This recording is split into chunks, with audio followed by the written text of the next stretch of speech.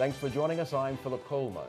And I'm Lauren Brooks. Our top story this evening neighbors of a missing Tuscaloosa County woman are feeling a little unsettled today after the discovery of a body in the trunk of a car in the Carmel Bay subdivision.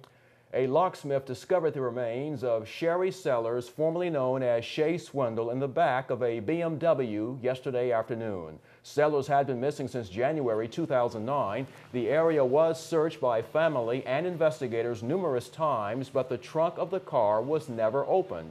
WVUA's Kim Garner went to Carmel Bay to see how residents are reacting to the shocking discovery in their quiet subdivision.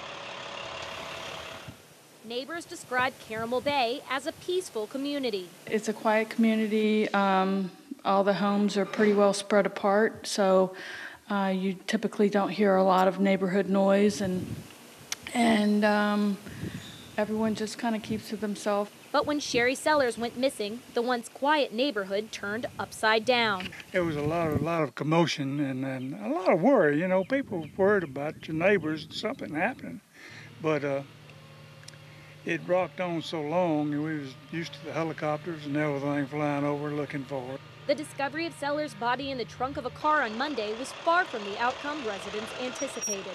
I'm an optimist and I, I hoped that she would be found and that uh, alive. But neighbors say they're happy to finally have some answers and hope Sellers' family will now get closure. You want the family to be relieved. They know where, where she's at now and they don't have to worry about that.